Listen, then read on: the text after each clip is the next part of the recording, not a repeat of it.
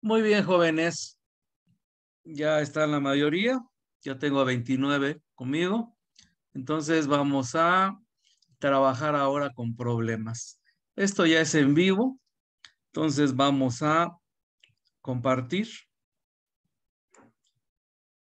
Aquí ya no necesito el sonido. Aquí está el libro. El problema que vimos en el video es el 620.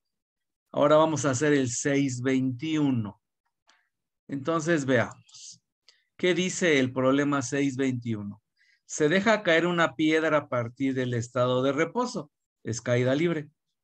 ¿Cuándo alcanzará un desplazamiento de 18 metros por debajo del punto de partida? ¿Cuál es su velocidad en ese momento? Aquí sí vienen las respuestas. Vamos a hacer las operaciones y debe coincidir. Evidentemente maneja el libro 9.8. Yo voy a manejar 9.81. Así que van a estar ligeramente diferentes. Entonces, bueno, dejo de compartir porque es otro navegador. Vámonos al Jamboard. Ya lo tengo listo. Entonces, bueno, ¿qué me dice el problema? Me dice, tengo un cuerpo en caída libre y en cierto momento ha recorrido 18 metros. La pregunta es, ¿en cuánto tiempo llega a 18 metros? ¿Y cuál es la velocidad que tiene en ese momento? Entonces, vamos a ver. Las ecuaciones son velocidad final igual a gravedad por tiempo. Esa es la primera. La segunda ecuación es altura, recuerden, ya es altura en lugar de distancia, es igual a un medio de la gravedad por el tiempo al cuadrado. Y la última es eh, dos veces gravedad por altura es igual a la velocidad final al cuadrado. Entonces, dense cuenta que no di el tiempo como dato. Por lo tanto, tenemos que usar la ecuación, no le puse, la fórmula, perdón, número 3. ¿Estamos de acuerdo? Y el dato que tenemos de fijo es que la gravedad es menos 9.81 metros entre segundo al cuadrado. Ese es el dato que tengo yo de fijo. Recuerden que la velocidad inicial es cero, por eso no aparece en ninguna de las fórmulas. Entonces, vamos a despejar de la número 3, ¿qué podemos encontrar? Bueno, pues tengo la altura también como dato, es 18 metros. Entonces, de la número 3 yo despejo. Entonces, ¿qué me queda? Voy a voltear la fórmula. Tengo velocidad final al cuadrado es igual a dos veces gravedad por altura. Solamente invertí el orden. No hice más que eso. Entonces saco raíz cuadrada porque yo quiero la velocidad final. Raíz cuadrada de 2 gravedad por altura. Y ese es el despeje que necesito para encontrar la velocidad final cuando está en 18 metros debajo de donde empezó a caer. Entonces la velocidad final es igual a la raíz cuadrada de 2. Ah, la altura es menos 18. Ojo, tiene que ser menos 18 la altura porque es por debajo. Ahorita les explico, si dejo 18 metros, sale algo raro. La altura es menos 18 metros. Entonces tengo 2 por menos 9.81 y voy a usar unidades por única vez para que vean que sí sale metros entre segundo. Metros entre segundo al cuadrado por menos 18 metros. A ver, y esto es igual a que, ojo, menos por menos es más, ¿verdad? Si hubiera dejado 18 metros positivo, me hubiera quedado un número negativo dentro de la raíz y los números negativos no tienen raíz cuadrada.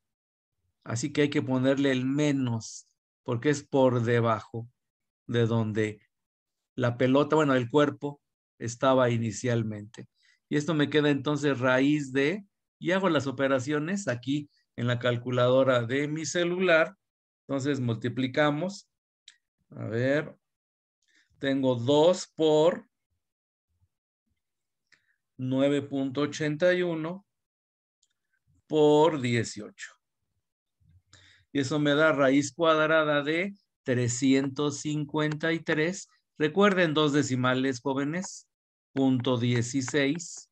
Ahora, ojo, le voy a poner un 1 abajo de metros, aquí de 18 metros entre 1, para poder hacer las operaciones con unidades. Y me queda metro por metro arriba, metro cuadrado, entre segundo cuadrado por 1, segundo cuadrado. Y arribita voy a poner, porque ya se me acabó el espacio, y saco la raíz de 353.16. Y eso me da 18.79 y me queda la raíz de metros cuadrados, pues es metro, y la raíz de segundo cuadrado es segundo, y esas son unidades de velocidad. Y esa es la velocidad final que tiene el cuerpo cuando ha caído 18 metros. Ahora me falta el tiempo. Pues lo más fácil es de la ecuación número uno, porque yo ya tengo la velocidad final y sé cuánto vale la gravedad. Entonces, de la ecuación número uno, voy a poner así, de la ecuación número uno, despejando, me queda que velocidad final entre gravedad, porque pasa dividiendo, es igual al tiempo. La velocidad final la acabo de encontrar. 18.79.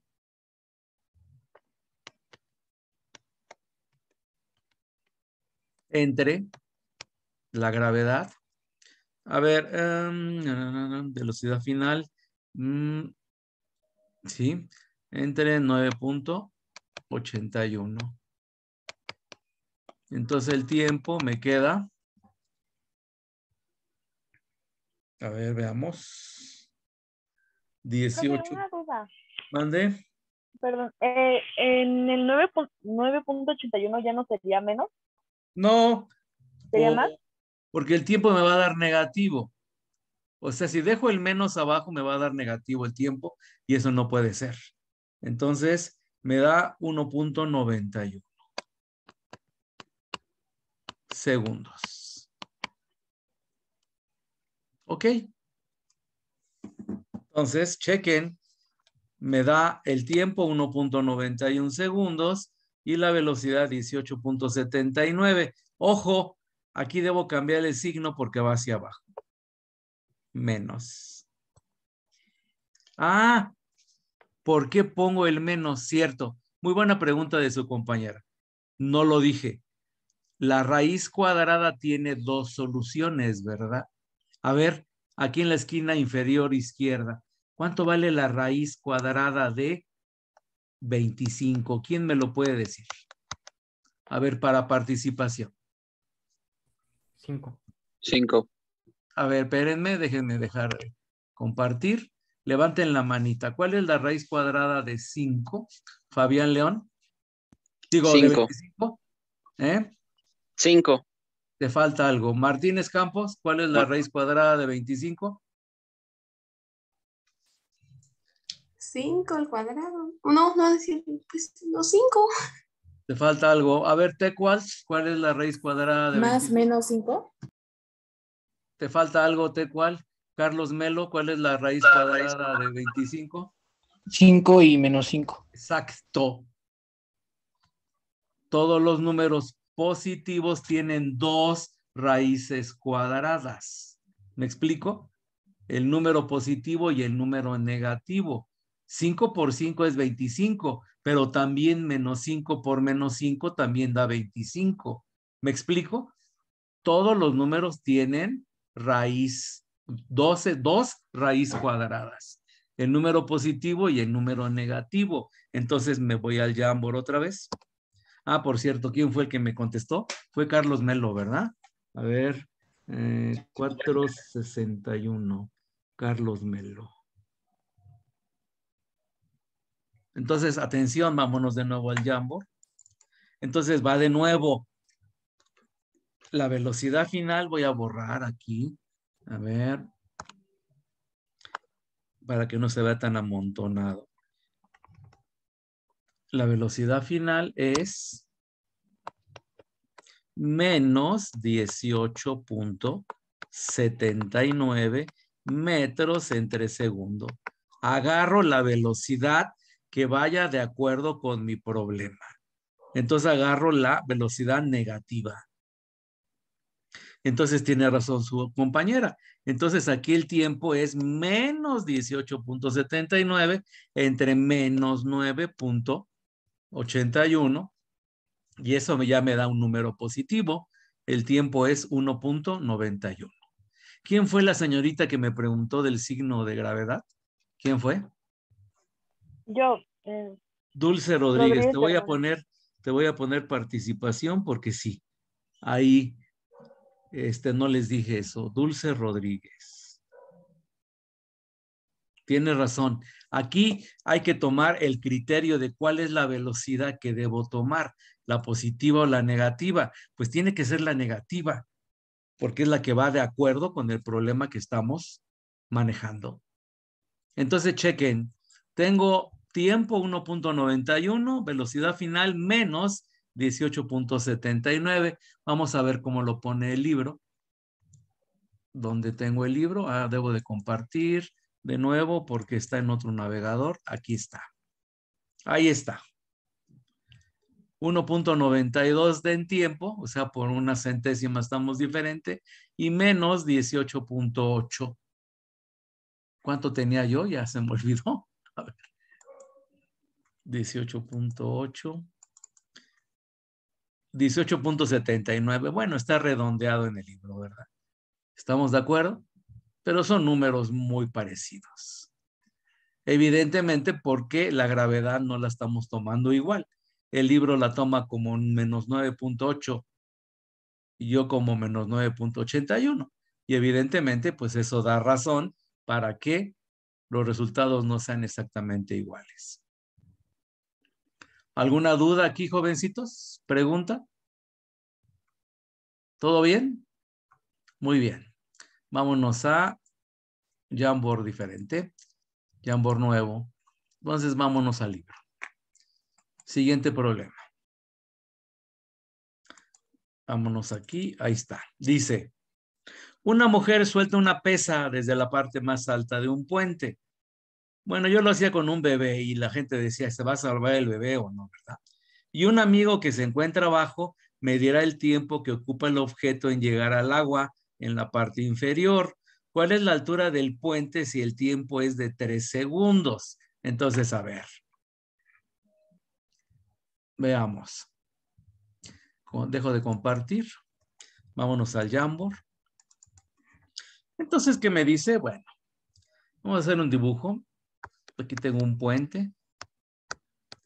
Va a quedar espantoso mi dibujo, pero no importa. Lo que importa es que, bueno, aquí está una mujer que va a soltar una pesa. ¿Ok? Una pesa.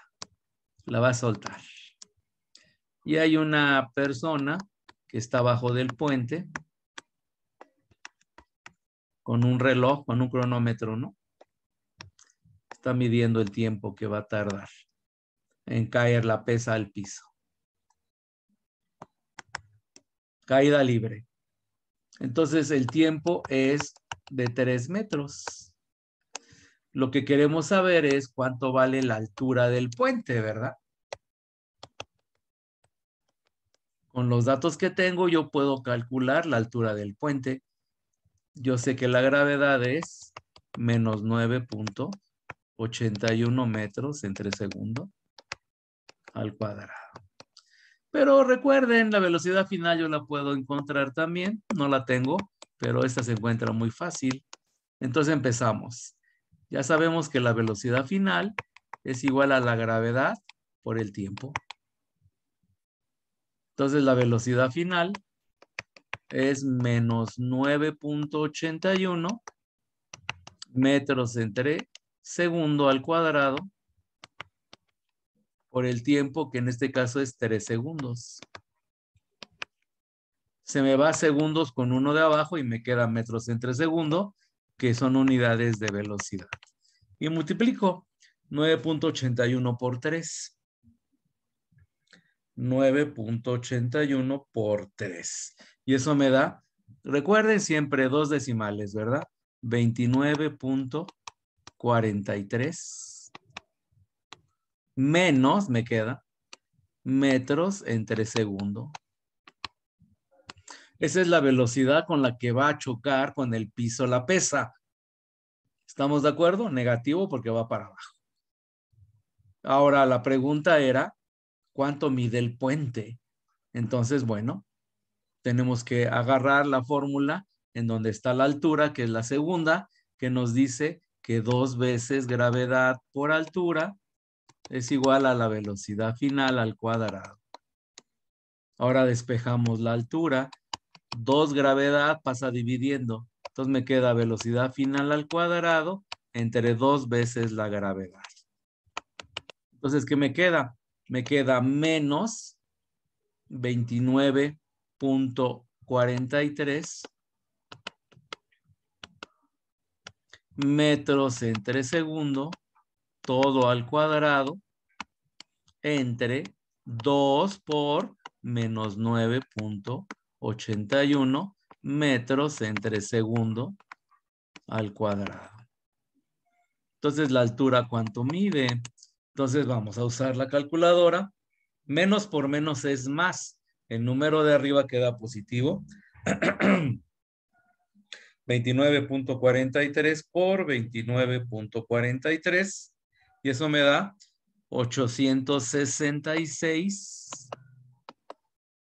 866.12 y es metros cuadrados entre segundo cuadrado, porque el cuadrado se reparte entre el metro y el segundo, entre 2 por menos 9.81, 9.81 por 2 y da negativo, menos 19.62 metros entre segundo al cuadrado. Ahora, si dividimos, bueno, a ver, esto voy del lado izquierdo porque ya aquí ya se me acabó el espacio. La altura es igual a, divido, más entre menos es menos, evidentemente me tiene que salir negativa la altura porque es hacia abajo. Entonces, me queda 866.12 entre 19.62. Y eso me da 44.14. Ahora las unidades tienen que ser metros. Vamos a ver. Ley del sándwich aquí, aquí del lado derecho, hasta abajo. Ley del sándwich. Metro cuadrado por segundo cuadrado. Y jamón con queso, segundo cuadrado por metro. Bueno, metro por segundo cuadrado.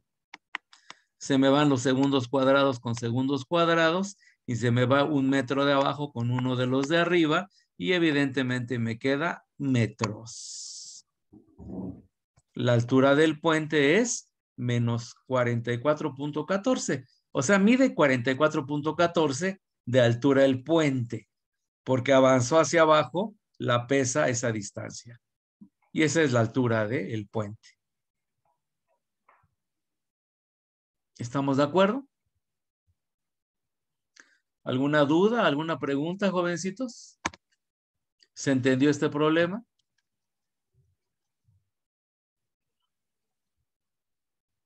Que es bastante, ¿no? 44 metros es mucho.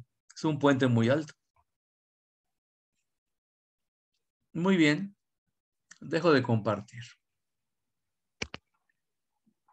¿Alguna duda? ¿Pregunta, jóvenes? Hablen ahora o callen para siempre, por favor. ¿No? Bueno. Entonces, dense cuenta que los problemas de caída libre no son tan complicados. Las fórmulas son mucho más sencillas. Ahora vamos a ver lo que es el tiro vertical. Veamos. Vámonos a un Jamboard. Tiro vertical.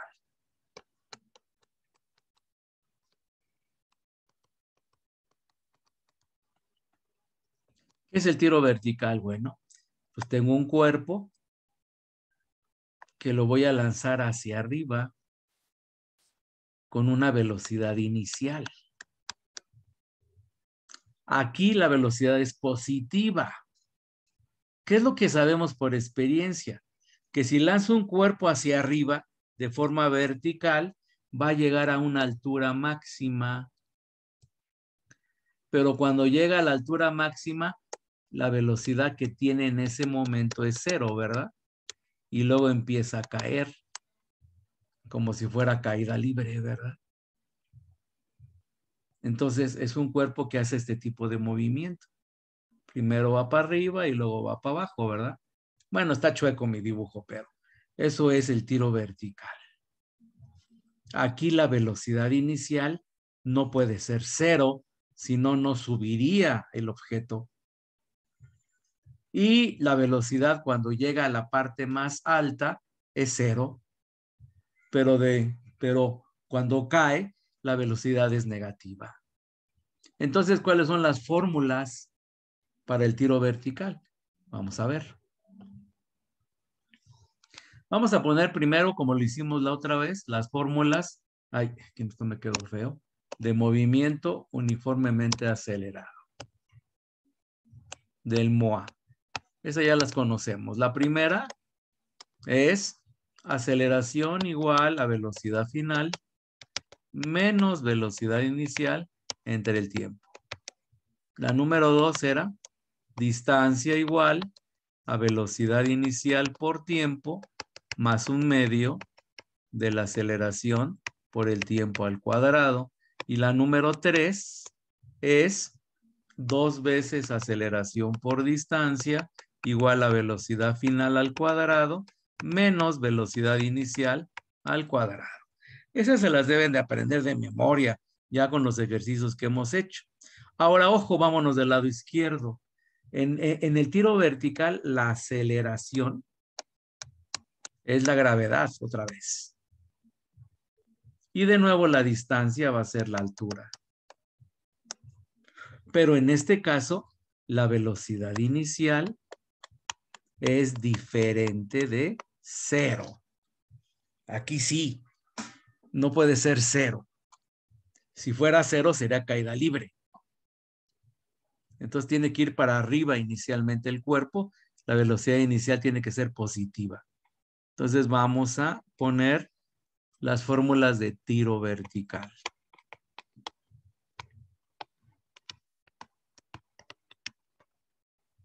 ¿Cómo quedaría la primera fórmula? En lugar de aceleración es gravedad. Y tengo, ah, aquí sí, no puedo quitar nada. Velocidad final menos velocidad inicial entre tiempo. Esa es la primera para el tiro vertical. En la segunda, en lugar de distancia es altura, que es igual a velocidad inicial por tiempo más un medio de la gravedad en lugar de aceleración por el tiempo al cuadrado. Y la número tres, me queda dos veces gravedad por altura es igual a velocidad final al cuadrado menos velocidad inicial al cuadrado. Y esas son las fórmulas para tiro vertical. Que se puede decir que son las mismas de movimiento uniformemente acelerado. Nada más cambié letra, ¿se dan cuenta? Aquí sí no pude eliminar nada. En la caída libre sí, eliminé elementos porque la velocidad inicial era cero, pero para el tiro vertical no puedo eliminar nada. Y esas son las fórmulas o ecuaciones para el tiro vertical. Hagan captura de pantalla, jóvenes, que voy a dejar de compartir.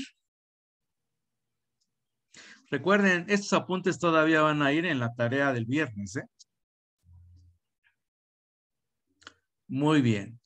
Dejo de compartir. Vámonos al libro. Veamos. Tiro vertical. Vamos a irnos para atrás un poco. Por ahí estaba la ilustración. Ahí lo vimos en el video. A ver, veamos. Estos son movimientos un poco más complicados, pero vamos, aquí está el tiro vertical. Ahí. Chequen, primero inicialmente se va para arriba y luego va para abajo. Entonces vamos a ver qué dice el libro sobre el tiro vertical.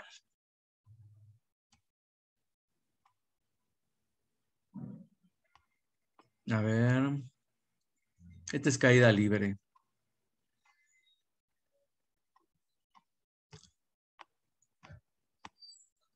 A ver, vamos a resolver este problema. Dice, una pelota de béisbol arrojada verticalmente hacia arriba desde la azotea de un edificio alto tiene una velocidad inicial de 20 metros entre segundo. Chequen, ahí está la azotea del edificio. Chequen la figura. Lanzamos la pelota hacia arriba y ahí viene velocidad inicial. Recuerden que ahí dice B0, es la inicial, es la BI que yo uso. Es 20 metros entre segundo. Luego va a subir. Cuando llega hasta arriba, ¿qué dice? Dice que la velocidad vale cero. Ahí está el tiempo, ¿no? Ya están los resultados. Pero bueno, ahorita vamos a encontrarlo nosotros. Y luego empieza a bajar. Y dense cuenta que como estábamos en la azotea, después de un tiempo la pelota va a bajar más abajo de donde la lanzamos hacia arriba. Ese es el problema. Ya están ahí algunas respuestas, pero bueno, eso no nos importa. Vamos a obtenerlas. Dice, de nuevo, una pelota de béisbol arrojada verticalmente hacia arriba desde la azotea de un edificio alto tiene una velocidad inicial de 20 metros entre segundo. Calcula el tiempo necesario para que alcance la altura máxima. O sea, ¿cuál es la altura máxima que va a alcanzar? La pelota. Determina la altura máxima. Determina la posición y la velocidad después de 1.5 segundos. ¿Y cuáles son su posición y su velocidad después de 5 segundos? Entonces, bueno, ahí está la ilustración y ya vienen ahí las respuestas, pero ahorita las vamos a obtener. Entonces, vámonos al Jamboard. Veamos. Dejo de compartir. Vámonos al Jamboard. Jamboard nuevo. Entonces, vamos a ver. Aquí tengo mi edificio. Ay, Qué espantoso. Es la azotea del edificio. Hijos, de veras que hoy traigo un pulso. A ver, despacio. Ahí está. Y luego, ah, ya saben, ya nos quedan 10 minutos, no puede ser. Entonces, aquí está el edificio. Vamos a suponer que aquí está el piso de la calle, ¿ok? Aquí estamos nosotros. Aquí está la pelota, le vamos a lanzar y cae. Claro, bonito el dibujo, ¿verdad? Entonces yo la lanzo con una velocidad inicial de 20 metros entre segundos. Y es positiva porque va para arriba. ¿Estamos de acuerdo? Entonces la pregunta es, ¿Cuánto vale la altura máxima?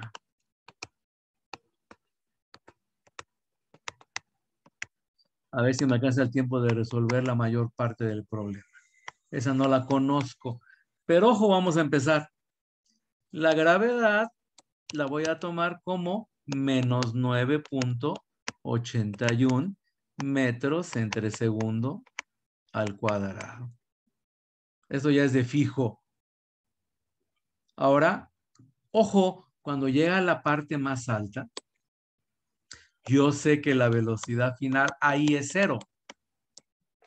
Esto lo tengo yo como dato. Entonces, vamos a encontrar cuánto vale la altura ahí, la h, cuando la velocidad final vale cero. Entonces empezamos. La primera fórmula, veamos, aquí me atraso. Gravedad la tengo, sí. El tiempo lo tengo. Me dieron el dato. No, no lo tengo. La velocidad final sí la tengo.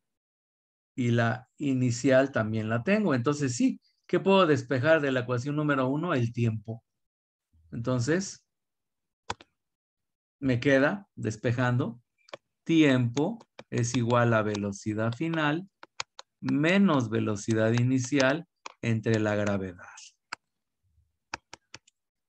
Entonces, la velocidad final es cero cuando llega a la parte más alta, menos la velocidad inicial, que es 20 metros entre segundo, entre la gravedad, que es menos 9.81 metros entre segundo al cuadrado. Ahora, si divido, menos entre menos me da más y entonces me queda 20 entre 9.81 y eso me queda 2.03 y las unidades, veamos, pan con pan, metro por segundo cuadrado, entre jamón con chile jalapeño, metro por segundo, se me van los metros, se me va el segundo de abajo con uno de arriba y evidentemente me quedan segundos. 2.03 metros. Esa es la altura máxima.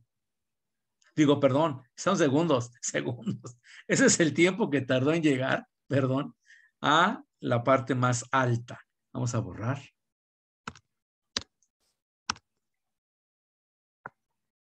Aquí segundos. Pues decía dos metros de muy poquito, no.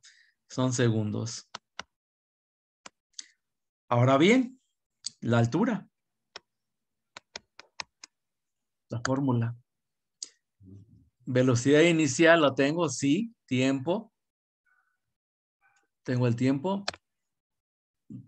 Sí, pues lo acabo de encontrar, claro. y lo demás lo tengo. Entonces sí tengo todos los datos. Entonces vamos a poner altura.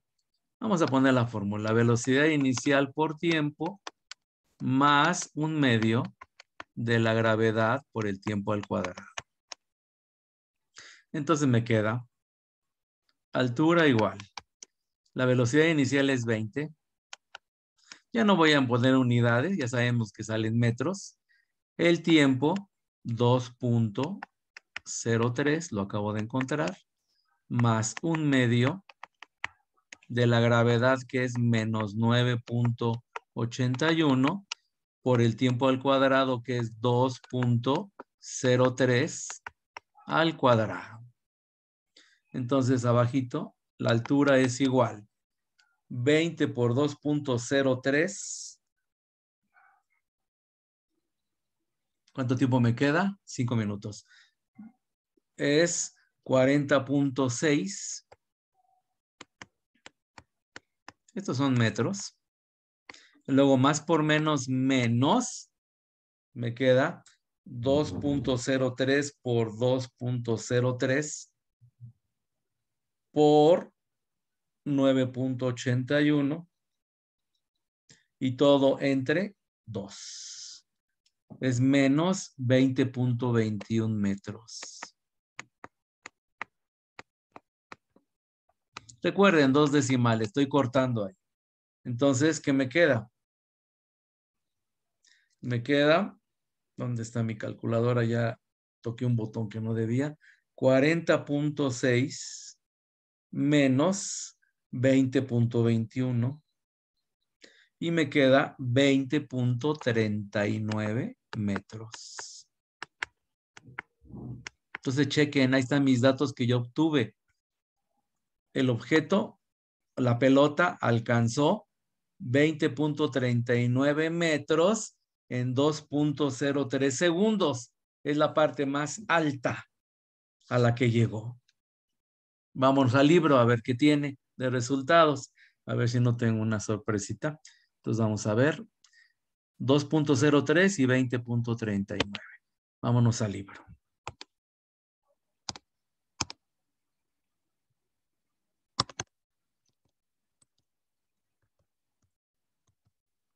Ah, no quiere.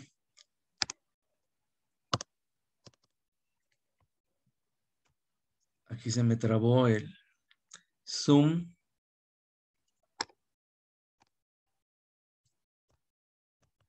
Ahí está. Ahí está, miren, 2.04 es lo que tiene el libro. Y la altura dice 19 metros, ¿no? ¿Cuánto obtuve yo? ya se me olvidó. Ahí está, 2.04 y 20.4 metros. Eso es lo que encontró el libro. 2.04 y 20.4. ¿Se parecen a mis datos? A ver, ayúdenme. A ver, ¿qué dije yo? Échenme la mano, ¿qué les dicté yo? Bueno, ¿qué encontramos? El tiempo fue 2.03 segundos y la altura fue 20.39 metros. Bueno, gracias, muchas gracias.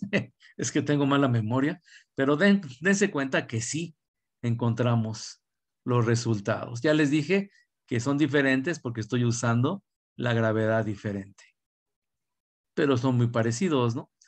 Ya nos quedan menos de dos minutos de Zoom, pero el viernes Vamos a terminar este problema y vamos a seguir con más de tiro vertical. Aquí está la imagen de el problema. Y bueno, ahí la llevamos, ¿no? Todavía faltan varias preguntas que vamos a resolver poco a poco. Muy bien, dejo de compartir. Me está fallando la plumilla, ahorita no quería obedecer. Ok, jovencitos, ¿alguna duda, pregunta de última hora? ¿No? Bueno, entonces doy por terminada la sesión y tenemos una sesión el viernes, ¿verdad? Ok, jovencitos.